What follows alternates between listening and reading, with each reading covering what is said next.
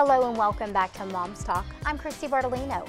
Joining me in the studio for the first time today is Dr. BJ Daneshvar with Acute and Chronic Pain and Spine Center. Thank you so much for being here. Thank you for having me. Now today we want to talk about a relatively new procedure called Vertiflex. Yes, ma'am. Vertiflex. Yes. Uh, it's a procedure that treats spinal stenosis, tightness in the spine, with spinal nerve root irritation or impingement. This is for people who, when they're walking in the shopping, uh, you know, uh, supermarkets, they have to lean on the cart. Yes. When they stand up, uh, uh, lightning rod pain goes down their legs, and when they walk more than maybe five, ten foot, their legs go into cramps.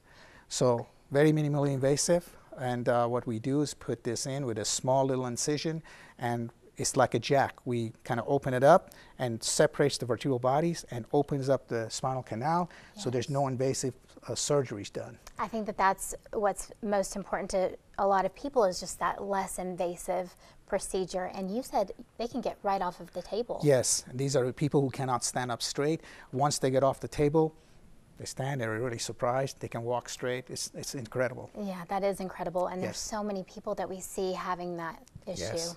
Yes. You were also the only one in the panhandle doing this procedure. Yes, this has been out probably 10 years. And we've done this procedure here. Uh, I think we're the only ones who are doing it for the last five. Okay. Yes. Very good to know. And if they need more information, they can contact you guys. Absolutely. Okay. Yes. Well, I appreciate you being here, and I love that it's less invasive and that you can fix the problem so easily. Very easy, yes. Thank you. If you'd like more information, you can visit our website at newschannel10.com backslash momstalk.